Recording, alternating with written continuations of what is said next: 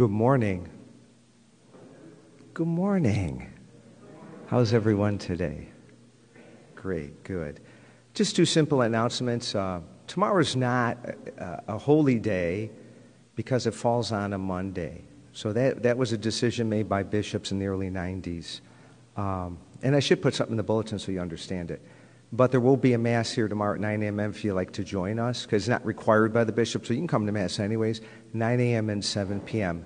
That's the first announcement. The second one is I talked to Father Dennis this last week. He's doing well, he's coming along, he's just dealing with some medical things, and he sends his prayers and love to you all, and he thanks you for your prayers. And if I have anything further to report next week, then you'll hear from me. I put a little something in the bulletin. Thank you.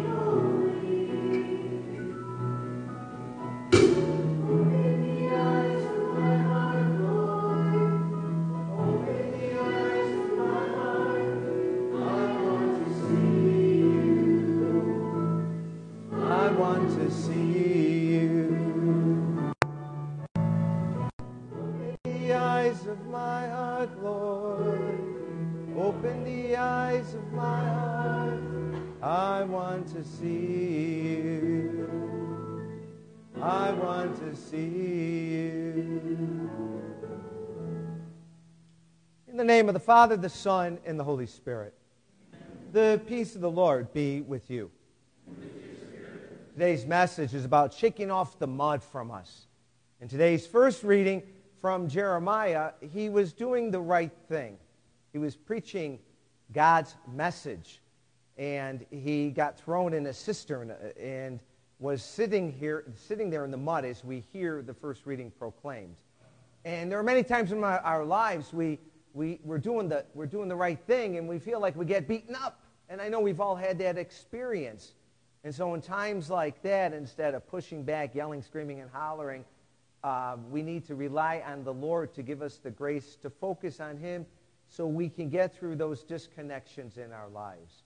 So, as we come together as a family of believers, let us seek forgiveness in the Lord when we have trusted that He will guide us, lead us, and show us the way.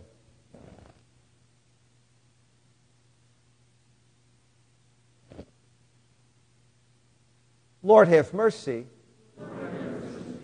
Christ, have mercy. Lord, have mercy. May Almighty God have mercy on us, forgive us our sin, bring us to an everlasting life.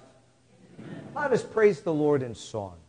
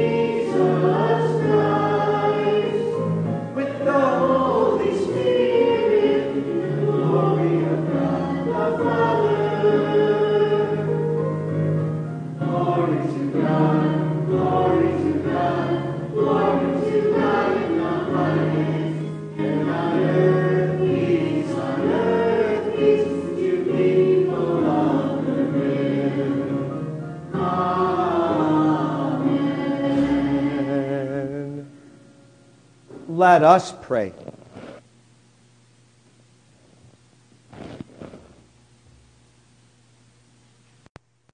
O God, who have prepared for those who love you good things which no eye can see, fill our hearts, we pray, with the warmth of your love, so that, loving you in all things, and above all things, we may obtain your promises which surpasses every human desire. Through our Lord Jesus Christ, your Son, who lives and reigns with you, and the unity of the Holy Spirit, God forever and ever.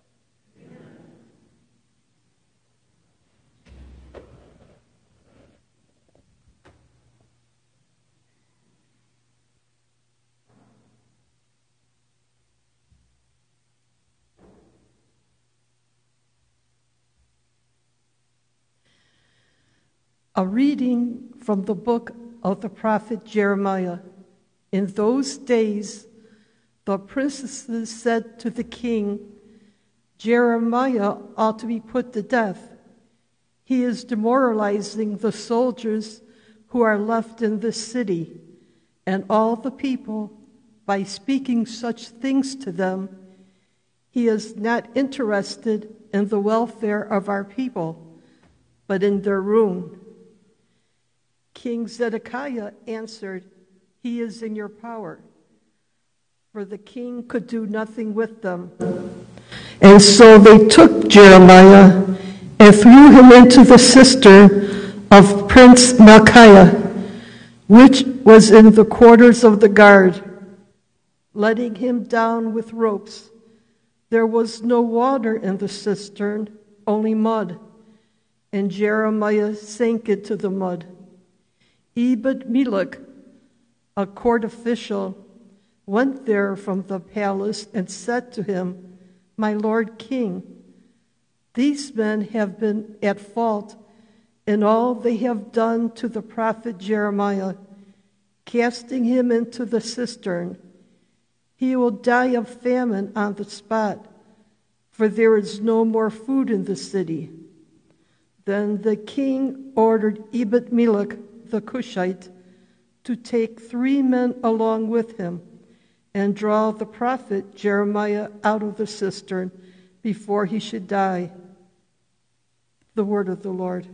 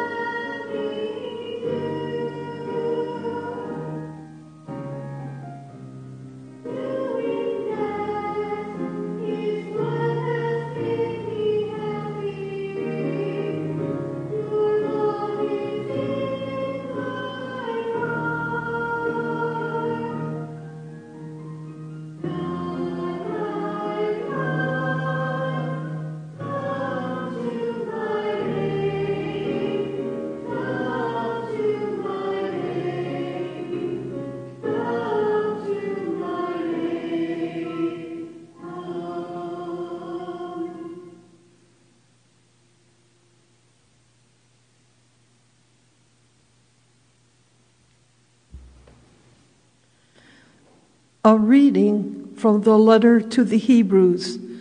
Brothers and sisters, since we are surrounded by so great a cloud of witnesses, let us rid ourselves of every burden and sin that clings to us and persevere in running the race that lies before us while keeping our eyes fixed on Jesus, the leader and perfecter of faith. For the sake of the joy that lay before him, he endured the cross, despising its shame, and has taken his seat at the right of the throne of God. Consider how he endured such opposition from sinners, in order that you may not grow weary and lose heart. In your struggle against sin, you have not yet resisted to the point of shedding blood. The word of the Lord.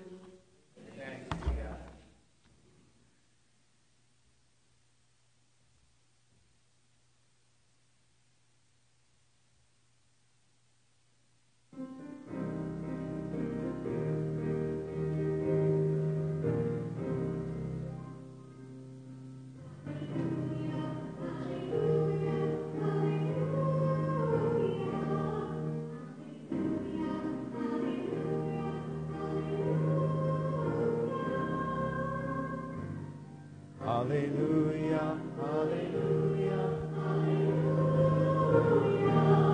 hallelujah, hallelujah, hallelujah.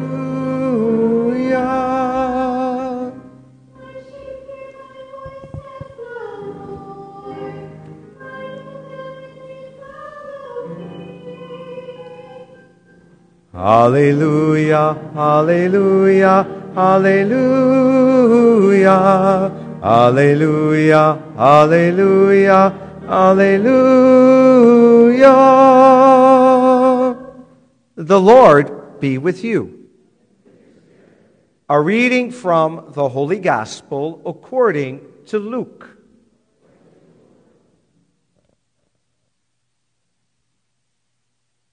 Jesus said to his disciples, I have come to set the earth on fire, and how I wish it were already ablazing.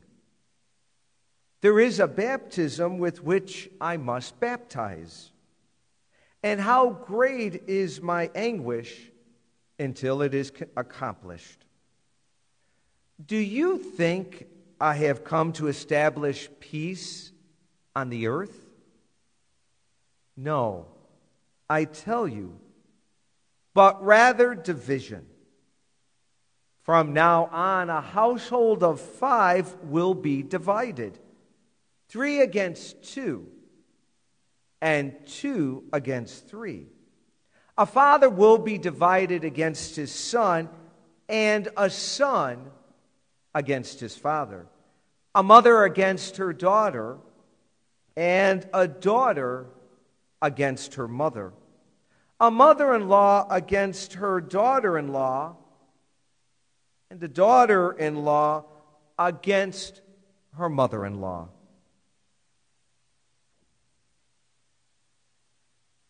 The Gospel of the Lord.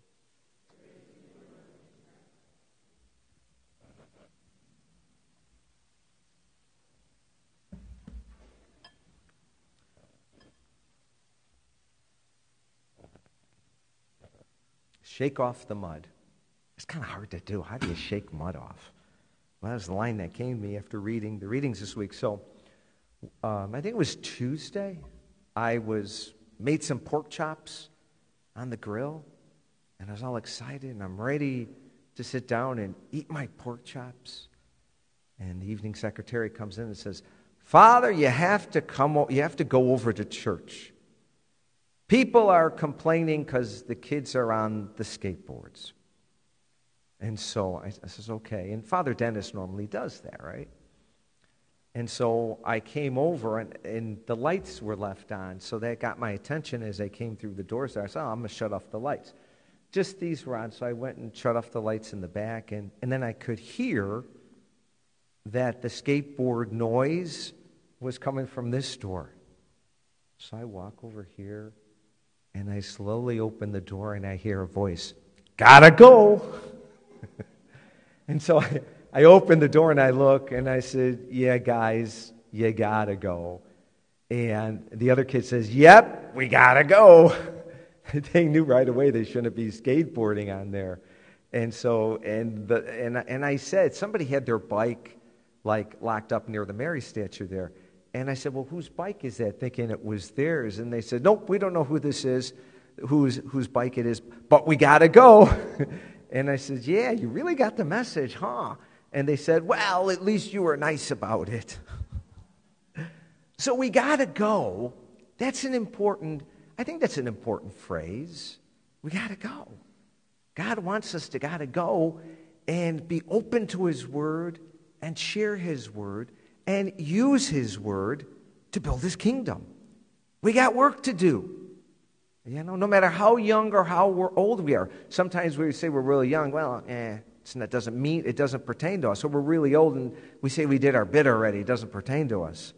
But we got to go. But what does God's word say today that we got to go do?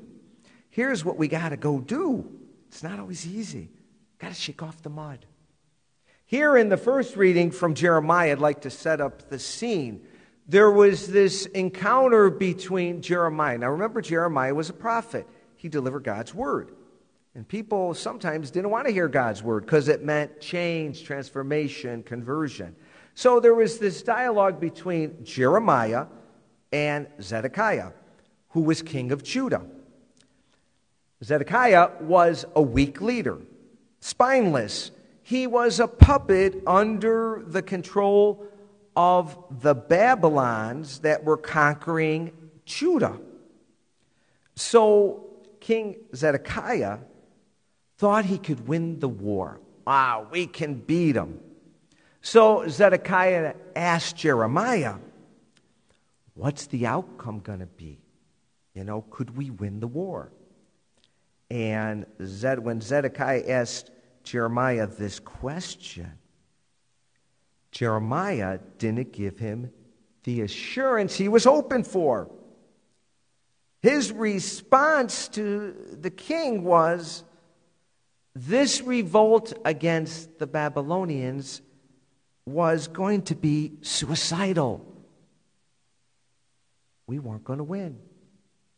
And what Jeremiah said to the king was, Submission was the only way to survive this.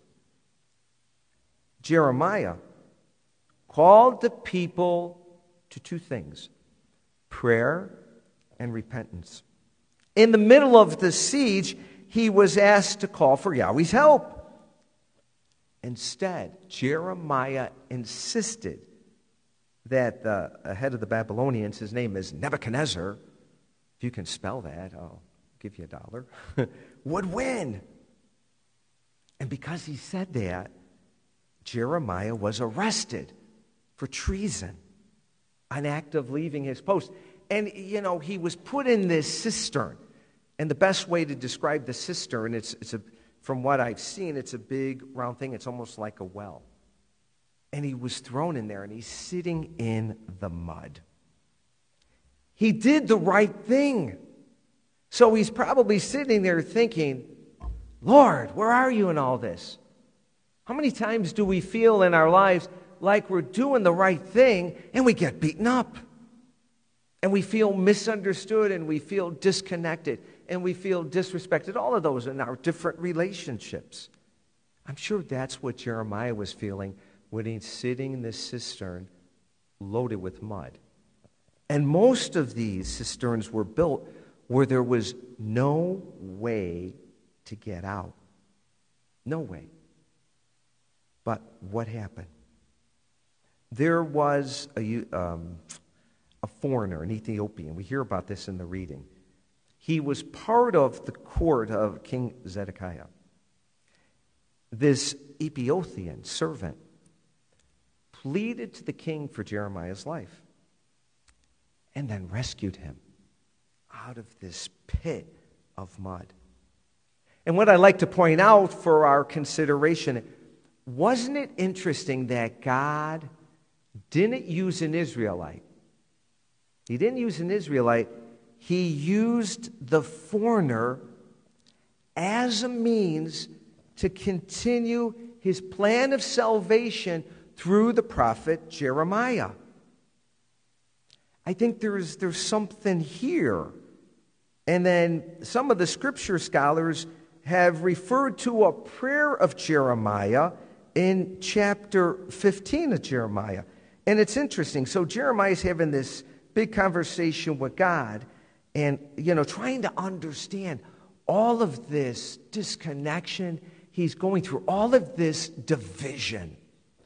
And here's God's response to Jeremiah. When Jeremiah is talking to him about all this division, he's supposed to be, you know, the messenger for God's word, and he's supposed to be protected. Here's God's response The Lord answered me, and I will make you towards this people a solid wall of brass. Isn't that interesting? I will make you a solid wall of brass. Though they fight against you, they shall not prevail. For I'm with you to deliver you and rescue, says the Lord. And he did. He rescued him out of the cistern to continue to be God's messenger. I will free you from the hands of the wicked and rescue you from the grasp of violence.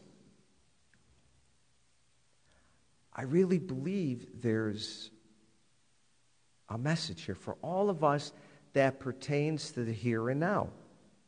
We hear Luke's gospel today, and we're like, well, we thought Jesus came to save us, yeah? We thought Jesus is going to be the king of priest, peace, rather, peace, the king of peace, right? We thought Jesus was coming to unite humanity. This gospel reading from Luke doesn't make any sense.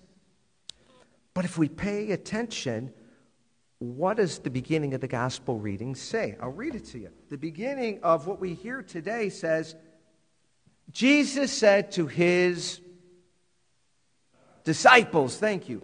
So Jesus says to his disciples about all of this division.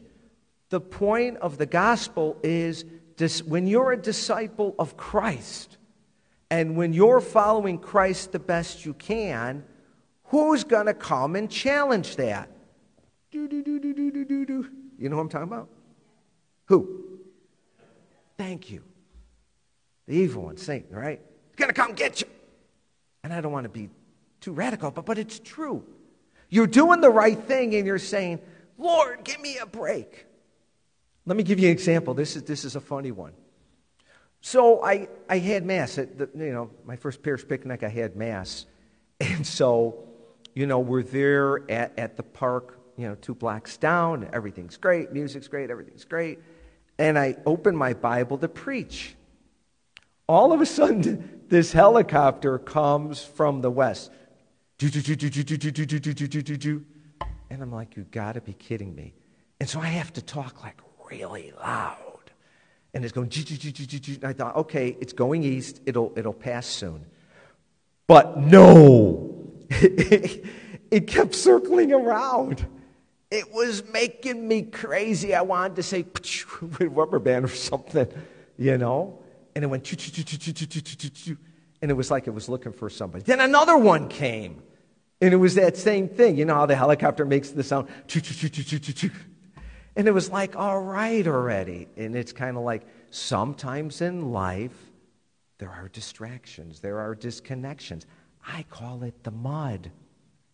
And the answer for getting the mud off is found in today's second reading from, uh, from the Hebrews. And it's all about focusing on Christ. And it says it right here. It's chapter 12 of Hebrews, and um, it's verse 2 while keeping our eyes fixed on Jesus, the leader and perfecter of faith.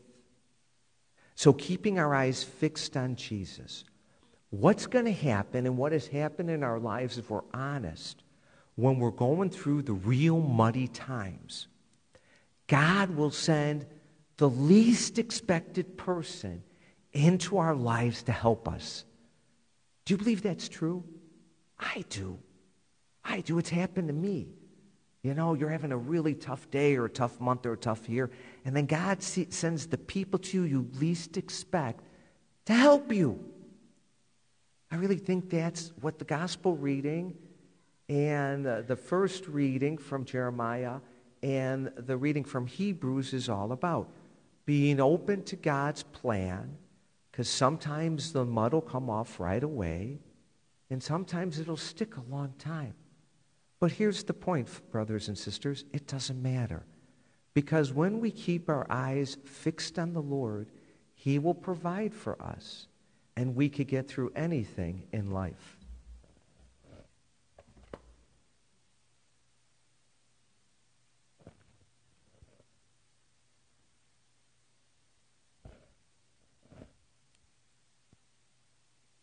I believe in one God, the Father Almighty maker of heaven and earth, of all things visible and. I believe in one Lord Jesus Christ, the only begotten Son of God, born of the Father before all ages, God from God, light from light, God from God, begotten not made, not substantially with the Father. Through him all things were made. For us men and for our salvation, he came down from heaven. And by the Holy Spirit was incarnate Virgin Mary and became our Savior he was crucified on Pontius Pilate. He suffered death and was buried, and rose again on the third day in accordance with the Scriptures. He ascended into heaven and is seated at the right hand of the Father. He will come again in glory to judge the living and the dead. And kingdom will have no end. I believe in the Holy Spirit, the Lord and God, who proceeds from the Father and the Son who with the Father and the Son is adored and glorified, who has spoken through the prophets. I believe in one holy Catholic and Apostolic Church. I confess one baptism for the forgiveness of sins, and look forward to the resurrection of the dead, and the world. And let us offer our prayers for the world, our nation, and community of faith.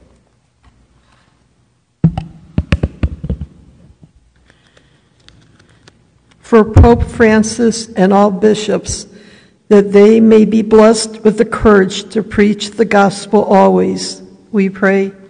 Lord, hear our prayer. That nations may see divisions and disagreements as opportunities for honest and constructive dialogue for the benefit of all. We pray. Lord, hear our prayer for those who are imprisoned, especially those serving life sentences, that they may not grow weary and lose heart. We pray. Lord, hear our prayer. For all military, police, firefighters, and first responders, may they be kept safe from all harm as they serve and protect us. We pray. Lord, hear our prayer that families who are divided may find comfort and peace in their embrace of an all merciful God as they cope with strained relationships and estranged family members. We pray. Lord, hear our prayer. For peace in our communities, for nonviolence, for the protection of all human life, for the grace to uphold the dignity of every human being. We pray. Lord, hear our prayer. For all whom remembered today at Mass, especially Raymond Ellaway, Sister Regina Marie Dubicas, we pray. Lord, hear our prayer. For all the sick, especially the Fitzgerald family, and all those listed in our parish bulletin and book of prayer intentions, we pray. Lord, hear our prayer. For our dearly departed loved ones, especially Laddie Paradise, that they may rest in the peace of Christ. We pray. Lord, hear our prayer. For all the prayers we hold in the silence of our hearts. We pray. Lord, hear our prayer. Gracious, loving God, we offer up all of our prayers through Christ our Lord. Amen.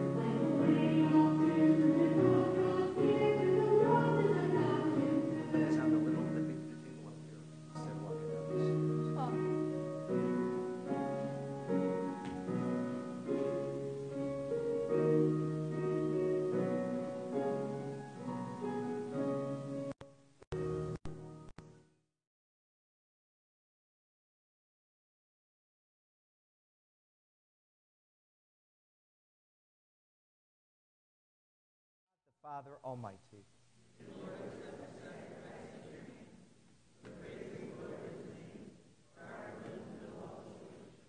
Receive our oblation, O Lord, by which is brought about a glorious exchange, that by offering what you have given, we may merit to receive your very self through Christ our Lord. Amen. The Lord be with you. Lift up your hearts.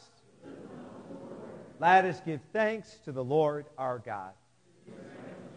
It is truly right and just, our duty and our salvation, always and everywhere, to give you thanks, Lord, Holy Father, Almighty and eternal God, through Christ our Lord.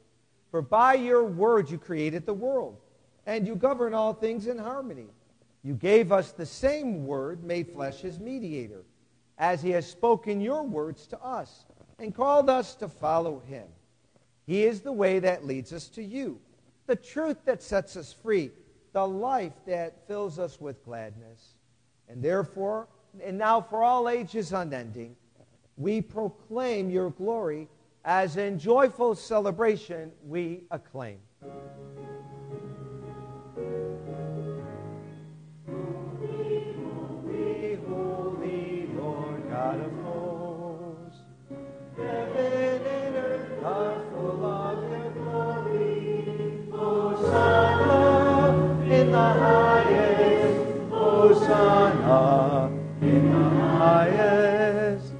Blessed is he, blessed is he who comes in the name of the Lord. Hosanna in the highest, Hosanna in the highest, Hosanna in the highest, Hosanna in the highest.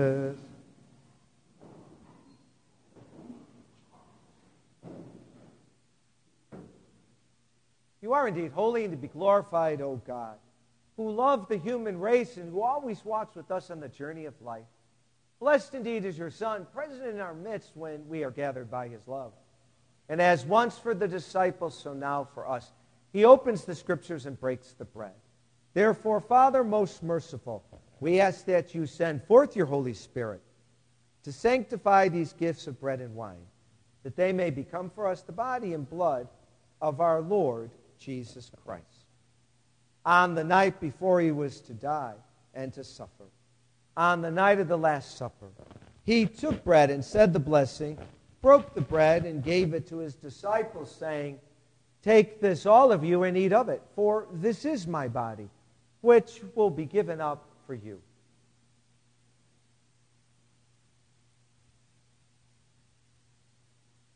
In a similar way, when supper was ended, he took the chalice. And once more giving thanks, he gave the chalice to his disciples, saying, Take this, all of you, and drink from it. For this is the chalice of my blood, the blood of the new and eternal covenant, which will be poured out for you and many for the forgiveness of sins. Do this in memory of me.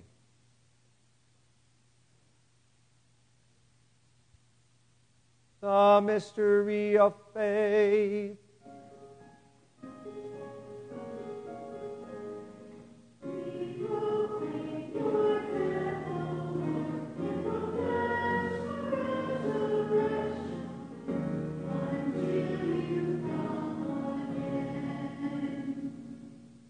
Therefore, Holy Father, as we celebrate the memorial of his death and resurrection, we offer you the bread of life and the chalice of blessing, giving thanks that you have held us worthy to be in your presence and minister to you. Humbly we pray that, partaking of the body and blood of Christ, we may be gathered into one by the Holy Spirit. Remember, Lord, your church spread throughout the world and bring her to the fullness of charity, together with Francis, our Pope, and Blase, our Bishop, all the clergy, and all the deacons, and your entire people. Grant that the faithful of the church, looking into the signs of the times by the light of faith, may constantly devote themselves to the service of the gospel. Keep us attentive to the needs of all that, sharing their grief and pain, their joy and hope. We may faithfully bring them the good news of salvation and go forward with them along the way of your kingdom. Remember our brothers and sisters who have fallen asleep in the peace of your Christ, and all the dead, whose faith you alone have known. Admit them to rejoice in the light of your face, and in the resurrection give them the fullness of life. Grant also to us, when our earthly pilgrimage is done, that we may come to an eternal dwelling place and live with you forever. There, in communion with the Blessed Virgin Mary, Mother of God, her spouse, St. Joseph, with the blessed apostles, martyrs, St. Catherine of Alexandria, and with all the saints, we shall praise and exalt you through your Son, Jesus Christ. Through him and with him and in him, O God, Almighty Father, in the unity of the Holy Spirit, all glory and honor is yours forever and ever.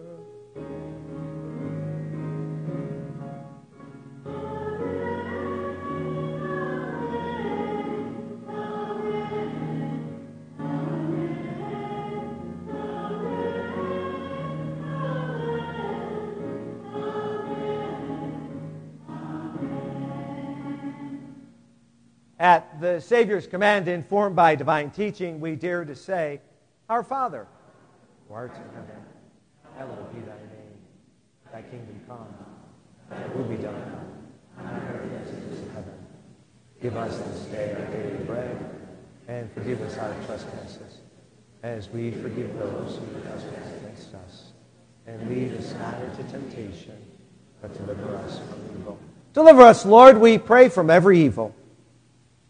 Graciously grant peace in our day so that by the help of your mercy we may be always free from sin, safe from all distress, as we await the blessed hope and the coming of our Savior, Jesus Christ.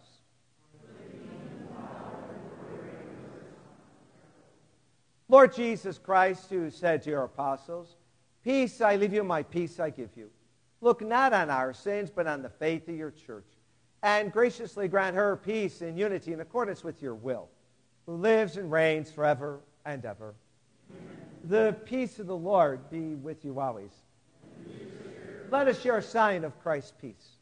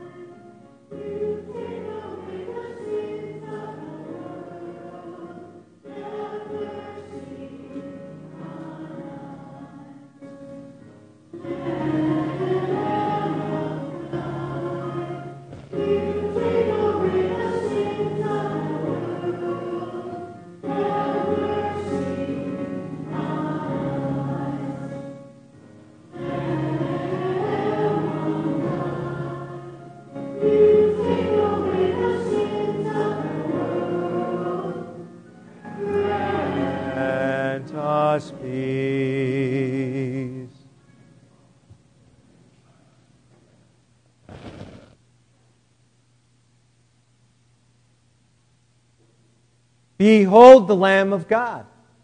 Behold him who takes away the sins of the world. Blessed are those called to the supper of the Lamb.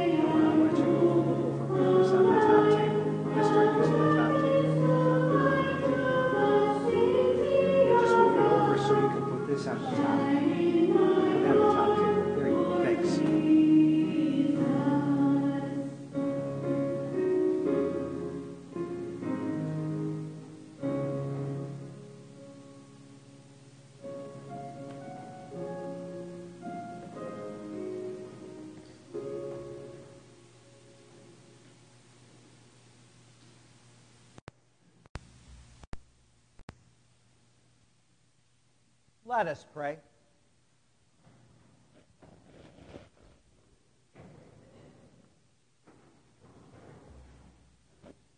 May partakers of Christ through these sacraments, we humbly implore your mercy, O Lord, that conform to his image on earth, we may merit also to be co heirs in heaven through Christ our Lord.